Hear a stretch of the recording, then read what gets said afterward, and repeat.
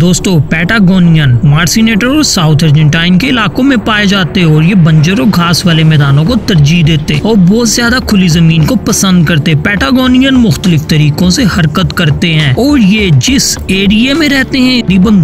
बयालीस एकड़ तक होती है जंगली पैटागोनियन वहाँ घास और झाड़ियाँ खाते हैं और अक्सर कोई फल दस्तियाब हो तो इसे भी खा लेते हैं पैटागोनियन की कीवी की तरह लंबी टांगे होती हैं जिनकी मदद से 20 से 25 मील मील पर आर को रफ्तार से दौड़ते हैं ये अपनी रफ्तार को गोश गोशखोर जानवरों से बचने के लिए इस्तेमाल करते हैं ये ये एक मैमल नस्ल का जानवर है ये एक खरगोश से मिलता जुलता जानवर इसकी एक जम छह फुट तक लंबी और इसका वजन आठ किलो तक होता है और ये जानवर उनहत्तर से पिचहत्तर सेंटीमीटर लंबा होता है